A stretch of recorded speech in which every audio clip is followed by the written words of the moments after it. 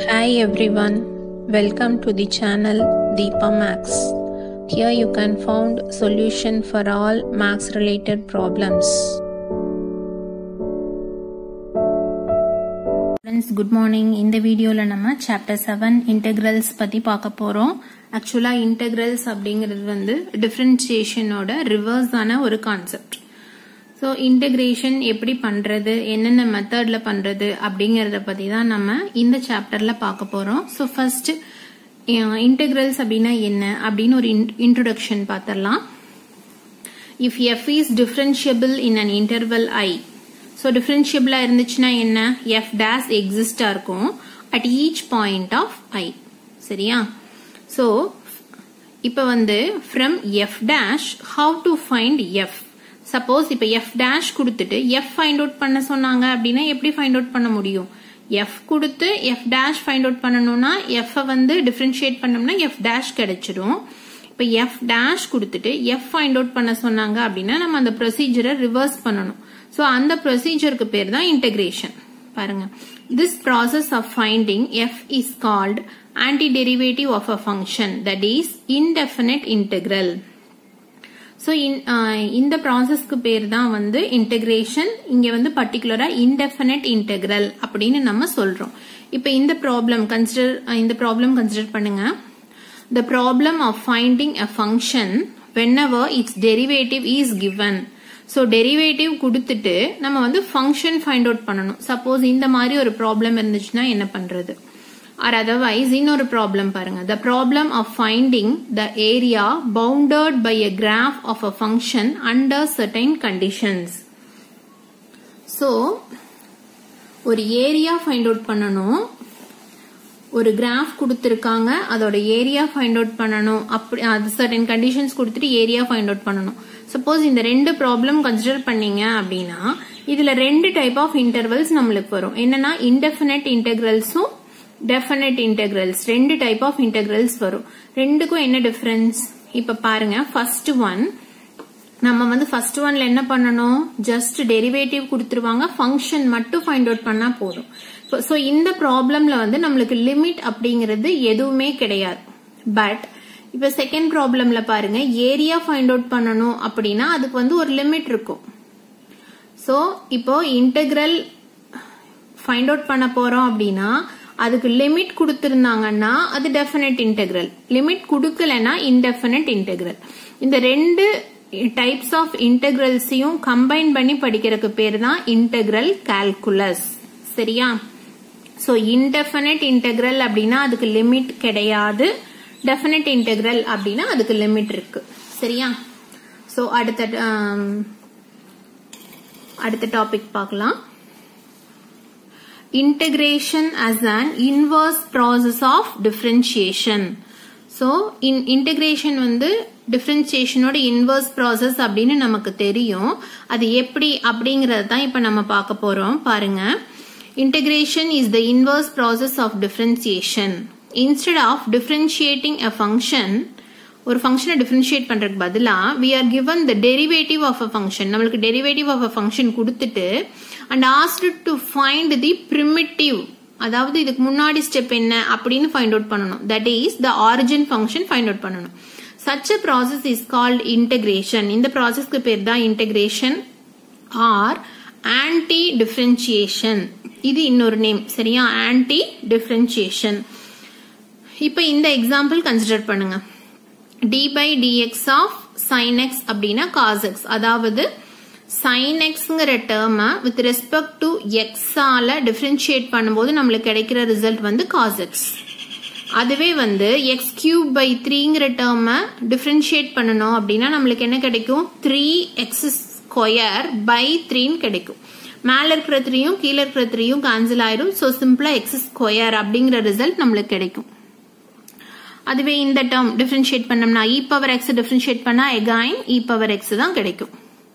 இப்போ இதுவே பாருங்க. எப்படி எழுதியிருக்கோம் அப்படின்னு. For any real number C ஒரு ரியல் நம்பர் சி ஒரு கான்ஸ்டன்ட் நம்பர் எடுத்துக்கிட்டு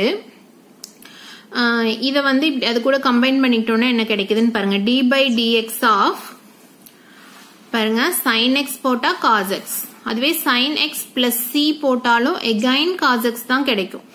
ஸோ ஒரு கான்ஸ்டன்ட் டேர்மை இன்க்ளூட் பண்ணுறதுனால எந்த சேஞ்சும் இல்லை. அதே மாதிரி தான் D by DX of X cube by three plus again ஒரு கான்ஸ்டன்ட் ஆட் பண்ணிக்கிட்டோம்னாலும் நம்மளோட ஆன்சர் சேம் தான். அதே மாதிரி இ பவர் எக்ஸ் கூட ஒரு கான்ஸ்டன்ட் ஆட் பண்ணிக்கிட்டோம்னாலும் நம்மளுக்கு எகைன் இ பவர் எக்ஸே தான் கிடைக்கும். சரியா? ஸோ இப்போ இதை யூஸ் பண்ணி நம்ம என்ன ரிசல்ட் சொல்லலாம் அப்படின்னா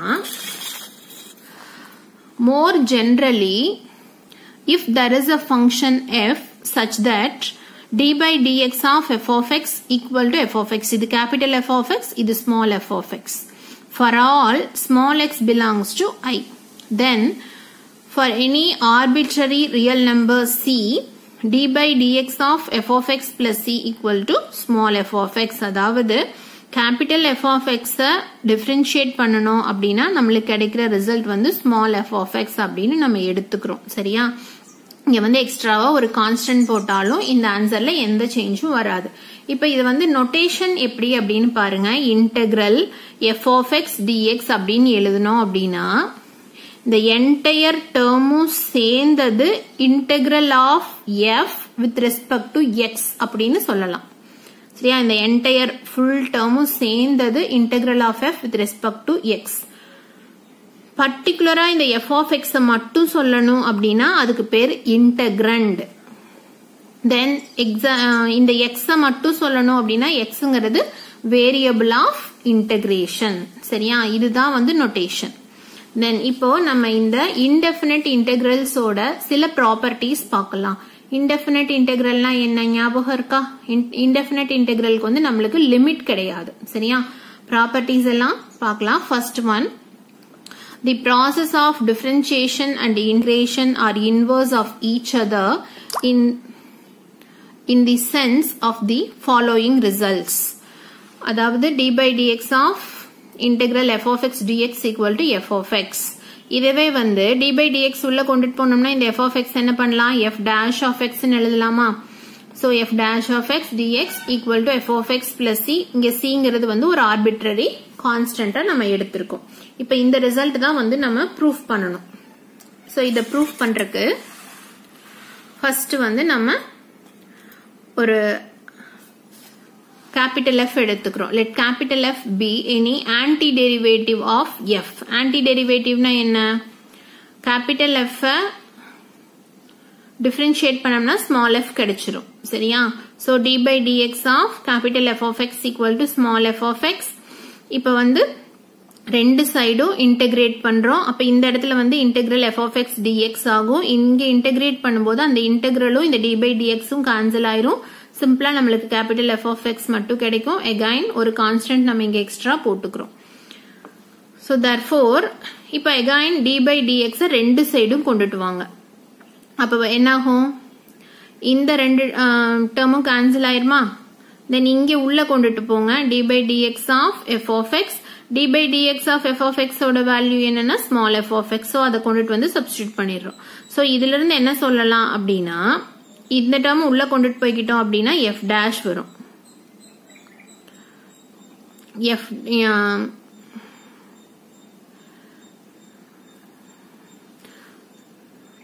Similarly, we note that f dash of x equal to d by dx of f of x. அதாவது இதை உள்ள கொண்டுட்டு போனோம்னா இது எஃப் டேஷ் ஆஃப் எக்ஸ் அப்படின்னு நம்ம போடலாம் அப்படின்னு சொல்றாங்க. சொல்லிட்டு இதை கொண்டுட்டு வந்து இங்க சப்ஸ்டியூட் பண்றாங்க. So integral F dash of X DX equal to F of X plus C where C is the arbitrary constant called constant of integration சரியா? இந்த ப்ராப்பர்ட்டி புரிஞ்சுதா? சேனல் சப்ஸ்கிரைப் பண்ணாமல் இருந்தீங்கன்னா சப்ஸ்கிரைப் பண்ணிக்கோங்க. அப்பதான் அடுத்தடுத்து நம்ம போடுற வீடியோ உங்களுக்கு நோட்டிபிகேஷன்ல வரும். சரியா? தென் அடுத்த property two indefinite integrals with the same derivative lead to the same family of curves and so they are equivalent so ரெண்டு இன்டெஃபினட் இன்டெகிரல்ஸ் எடுத்துக்கிறோம் with the same derivative derivative வந்து சேமா இருக்கும். அப்படி எடுத்துக்கிட்டோம் அப்படின்னா அது ரெண்டு ஈக்குவலண்ட் அப்படின்னு நம்ம ப்ரூஃப் பண்ணணும். ஸோ இப்போ ஃபர்ஸ்ட் வந்து நம்ம ரெண்டு ஃபங்க்ஷன்ஸ் எஃப் அண்ட் ஜி அப்படின்னு ரெண்டு ஃபங்க்ஷன்ஸ் எடுத்துக்கலாம். அதோட கண்டிஷன் என்னன்னா ரெண்டு ஃபங்க்ஷன்ஸும் ஈக்குவலாக இருக்கும். D by DX of integral F of X DX equal to D by DX of integral G of X DX இந்த ஃபங்க்ஷனை இந்த சைடு கொண்டுட்டு போயிருங்க. எல்லாமே எல்ஹெச்எஸ் கொண்டுட்டு போகும்போது இங்க இருக்கிற ஃபங்க்ஷன் வந்து இங்க மைனஸ் சைனோட போகும். தென் இந்த என்டையர் டேர்ம்க்கு வந்து நம்ம வந்து சி ஈக்குவல் டு சி அப்படின்னு எடுத்துக்கிறோம். Where C is any real number then இங்க இருக்கிற நெகட்டிவ் சைன் நெகட்டிவ் சைனோட இருக்கிற இந்த டேர்மை ஆர்ஹெச்எஸ்க்கு கொண்டுட்டு வாங்க. So integral F of X DX equal to integral G of X DX plus C அப்படின்னு கிடைக்கும். So the family of curves அதாவது இந்த ரெண்டு டேர்மை எடுத்துட்டோம் அப்படின்னா இந்த ரெண்டு ஃபேமிலி ஆஃப் கர்வ்ஸும் ஐடென்டிக்கல் ஏன்னா இந்த ரெண்டு டேர்மும் ஈக்குவல் ஸோ இது மூலமா கிடைக்கிற ஃபேமிலி ஆஃப் கர்வ்ஸ் வந்து ரெண்டும் ஐடென்டிக்கலா இருக்கும். ஸோ இதுல இருந்து என்ன சொல்லலாம் அப்படின்னா hence in the sense integral F DX and integral g of x dx are equivalent. So இது மூலமா என்ன சொல்லலாம் அப்படின்னா இது ரெண்டும் ஈக்குவலண்ட் அப்படின்னு நம்ம சொல்லிடலாம். சரியா? தென் அடுத்த ப்ராப்பர்ட்டி இது வந்து லீனியாரிட்டி ப்ராப்பர்ட்டி எல்லாத்துக்கும் ப்ரூஃப் பண்ணுவோம்ல? அதே மாதிரி தான் integral F of X plus G of X DX equal to தனித்தனி டேர்ம்ஸாக எழுதலாம் அப்படின்னு தான் நம்ம ப்ரூஃப் பண்ணணும். ஸோ ப்ராப்பர்ட்டி ஒன் படி பார்த்தோம் அப்படின்னா டி பை டிஎக்ஸ் ஆஃப் இந்த எல்ஹெச்எஸ்க்கு மட்டும் டி பை டிஎக்ஸ் எடுத்துக்கிட்டோம் அப்படின்னா இந்த equal to F of X plus G of X கிடைக்கும் ப்ராப்பர்ட்டி ஒன் படி. So on the other hand இதை வந்து நம்ம என்ன பண்ணலாம் அப்படின்னா எல்ஹெச்எஸ் மட்டும் எடுத்துட்டு நம்மளுக்கு இருக்கிற இந்த ரெண்டு டேர்முக்கும் உள்ள தனித்தனியா டி பை டிஎக்ஸை உள்ள கொண்டுட்டு போகலாம். ரெண்டு டேர்முக்கு பிரிச்சு எழுதிக்கலாம். பிரிச்சு எழுதிட்டு தென் பர்டிகுலரா இந்த டேர்முக்கு எஃப் ஆஃப் எக்ஸ் அப்படின்னும் இந்த டேர்முக்கு ஜி ஆஃப் எக்ஸ் அப்படின்னும் நம்ம எழுதலாம். So from property to one and two equal so இதுதான் வந்து நம்ம ப்ரூஃப் பண்ண வேண்டிய result integral f of x dx plus sorry integral f of x plus g of x dx equal to integral f of x dx plus integral g of x dx இதுதான் வந்து நம்ம இப்போ proof பண்ண வேண்டிய result சரியா? அடுத்த property for any real number k integral k into f of x dx equal to கேவை வந்து இன்டெக்ரலுக்கு அவுட் சைடு எடுத்துட்டு இன்டெகிரேஷன் எழுதலாம் அப்படின்னு நம்ம ப்ரூஃப் பண்ணணும். So by property one d by dx of LHS எடுத்துக்கிறோம். D by dx of integral k into f of x dx equal to கேங்கிற கான்ஸ்டன்டோட சேர்த்து k into f of x கிடைக்கும் property one படி. Then இப்போ வந்து என்ன பண்ணுறோம் அப்படின்னா இந்த இன்டெகிரேஷன்லேருந்து கேங்கிறது கான்ஸ்டன்ட்டுங்கிறதுனால வெளியே எடுத்துட்டு k into integral f of x dx equal to அதாவது இந்த டேர்ம் எடுத்துக்கிறோம். ஆர்ஹெச்எஸ் எடுத்துட்டு சொல்லிட்டோம். இப்போ எல்ஹெச் சாரி எல்ஹெச்எஸ் எடுத்துட்டு சொல்லிட்டோம். ஆர்ஹெச்எஸையும் அதே மாதிரி எடுத்துக்கிறோம். ஆர்ஹெச்எஸ் எடுத்துக்கிறோம். ஸோ இதுலேருந்து என்ன சொல்லலாம் அப்படின்னா கேங்கிற டேர்ம் கான்ஸ்டன்ட்டுங்கிறனால டி பை டிஎக்ஸை விட்டு வெளியே எடுத்துட்டு d by dx of integral f of x dx then இந்த டேர்மோட ஆன்சர் வந்து f of x. ஸோ இதுல இருந்து என்ன சொல்லலாம் அப்படின்னா ப்ராப்பர்ட்டி டூ படி இந்த ரெண்டு டேர்மும் ஈக்குவல் சரியா? இதுதான் வந்து நம்ம ப்ரூஃப் பண்ண வேண்டிய ரிசல்ட் தென் இதில இன்னும் ப்ராப்ளம்ஸ் பார்க்கலாம். Right and anti derivative for the following function using the method of inspection inspection அதாவது நம்மளே trial அண்ட் எரர் மெத்தட் மாதிரி யூஸ் பண்ணி காஸ் எக்ஸோட ஆன்டி டெரிவேட்டிவ் ஃபைண்ட் அவுட் பண்ண சொல்றாங்க. இப்ப பாருங்க. இப்ப நம்ம என்ன பண்ணணும் அப்படின்னா we have to look for a function whose uh, derivative is cos 2x சரியா? We have to look for a function whose derivative is cos 2x நம்ம ஒரு ஃபங்க்ஷன் இங்க எழுதணும். எழுதணும்னா cos 2xங்கிற ஆன்சர் வரணும். ஸோ அதாவது டி பை டிஎக்ஸ் ஆஃப் எந்த ஃபங்க்ஷன் போட்டோம் அப்படின்னா காஸ் டூ எக்ஸ்ங்கிற ஆன்சர் கிடைக்கும். எப்பவுமே சைன் எக்ஸை டிஃபரன்ஷியேட் பண்ணோம்னா காஸ் எக்ஸ் கிடைக்குமா? ஸோ சைன் எக்ஸை டிஃபரன்ஷியேட் பண்ணா காஸ் எக்ஸ் ஆனா இங்க காஸ் டூ எக்ஸ் இருக்கு. ஸோ அப்ப இங்க என்ன எழுதணும்? சைன் டூ எக்ஸ் எழுதணும். தென் சைன் டூ எக்ஸ் எழுதணும் அப்படின்னா காஸ் டூ எக்ஸ் கிடைக்கும்.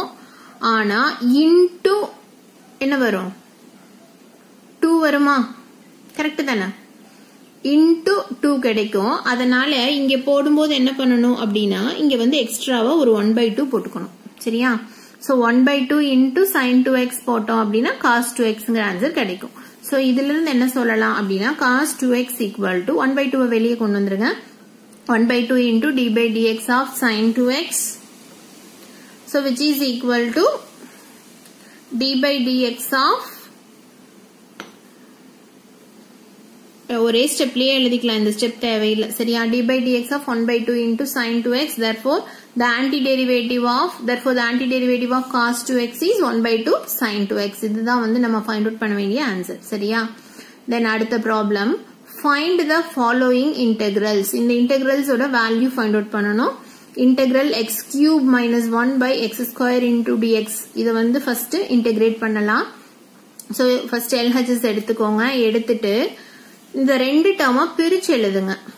ஃபர்ஸ்ட் டேர்ம் என்ன ஆகும் x cube by x square அப்படின்னா எக்ஸ் கியூப் கூட எக்ஸ் எக்ஸ் ஸ்கொயர் கேன்சல் ஆகும்போது எக்ஸ் மட்டும் கிடைக்கும்.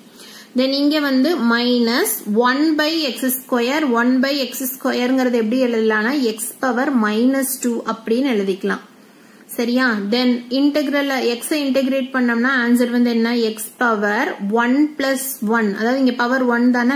அதனால் one plus one divided by one plus one minus integral இங்க எக்ஸ் பவர் மைனஸ் டூவா அப்ப வந்து என்ன எழுதணும்? X power minus two plus one by minus two plus one then இங்க வந்து என்ன ஆகும் எக்ஸ் ஸ்கொயர் பை டூ கிடைக்கும். இங்க வந்து x power minus one by minus one கிடைக்கும். இதை சிம்பிளிஃபை பண்ணி எழுதணும் அப்படின்னா இதுதான் நம்ம ஃபைண்ட் அவுட் பண்ண வேண்டிய result x square by two இந்த டேர்ம் வந்து என்ன ஆகும்னா மைனஸ் இன்டூ மைனஸ் பிளஸ் ஆகும். One by x plus c சரியா? எப்பவுமே இன்டெகிரேஷன் வந்து ரொம்பவே ஈஸி தான். ஆனா கவனமா போடணும்.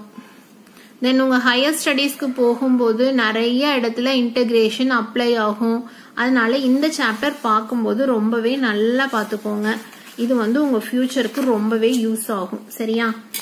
தென் அடுத்த problem integral x power three by two plus two into e power x minus one by x dx so first இன்டெக்ரலை மூணு டேர்முக்கும் பிரிச்சு எழுதிக்கோங்க. நெகட்டிவ் சைன் இருந்தா முன்னாடி போட்டுக்கோங்க. கான்ஸ்டன்ட் வேல்யூ வேல்யூ இருந்தா முன்னாடி எழுதிக்கோங்க. Then x power three by two first term ஒரு ஒரு டேர்மா சிம்பிளிஃபிகேஷன் வரைக்கும் சொல்லிடுறேன் பாருங்க. X power three by two integrate பண்ணோம் அப்படின்னா x power three by two plus one by three by two plus one three by two plus ஒன்னை simplify பண்ணோம்னா என்ன ஆன்சர் கிடைக்கும்? ஃபைவ் பை டூ கிடைக்கும். தென் இந்த டினாமினேட்டர்ல இருக்கிற ஃபைவ் பை டூ அப்படியே ரிவர்ஸா மேல கொண்டு போகும்போது டூ பை ஃபைவ் ஆயிரும். தென் இங்கேயும் ஃபைவ் பை டூ தான் கிடைக்கும். அது அப்படியே எழுதிடுறோம். X power five by two then second term பாருங்க. Integral e power x dx e power x integrate பண்ணோம்னா எகைன் இ பவர் எக்ஸ் ஏதா கிடைக்கும். ஸோ செகண்ட் டேர்ம் அப்படியே வந்துருது. Then third term minus sine அப்படியே எழுதிக்கலாம். இன்டெக்ரல் டிஎக்ஸ் பை எக்ஸ் அப்படின்னா log x so log of modulus of x then integrate பண்ணும்போது எல்லா டேர்முக்கும் சேர்த்து காமனா ஒரு பிளஸ் சி அப்படிங்கிற டேர்ம் எக்ஸ்ட்ராவா போட்டுக்கணும். இதுதான் நம்ம ஃபைண்ட் அவுட் பண்ண வேண்டிய இன்டெகிரேஷனோட ஆன்சர் சரியா? தென் அடுத்த problem find the following integrals first problem இந்த இது எடுத்துக்குவோம். எடுத்துட்டு கொசிகன் எக்ஸ உள்ள கொண்டுட்டு வந்து மல்டிப்ளை பண்ணுங்க. கொசிகன் ஸ்கொயர் எக்ஸ் ஆகும். Plus cosecant x cot x வரும். தென் இன்டெகிரல் கொசிகன் ஸ்கொயர் எக்ஸோட ஆன்சர் வந்து minus cot x then integral cosecant x cot எக்ஸோட இன்டெகிரேஷனோட வேல்யூ வந்து மைனஸ் கொசிகன் எக்ஸ் தென் என்டையரா பிளஸ் சி அப்படிங்கிற ஒரு கான்ஸ்டன்ட்டும் போட்டுக்கணும். அந்த இன்டெகிரேஷன் டேபிள் வந்து உங்களோட புக்ல இருக்கும்ல அதை வந்து நல்லா மெமரைஸ் பண்ணி வச்சுக்கோங்க. அது ரொம்பவே இம்பார்ட்டன்ட் அதை யூஸ் பண்ணி தான் நம்ம ஒரு ஒரு ப்ராப்ளமும் போடுவோம். தென் இதுல one more problem